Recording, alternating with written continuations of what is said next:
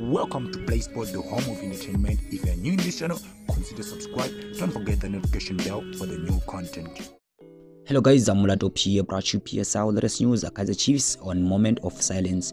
The players held a moment of silence on Tuesday morning before training in remembrance of the 43 football-loving supporters who lost their lives at Ellis Park Stadium on 11th of April 2001.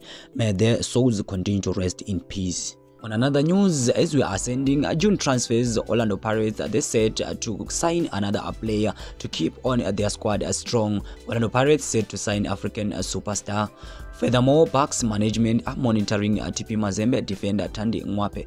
Therefore, they are preparing for the possibilities of a defender Olisa Ndah's exit from Buccaneer to overseas.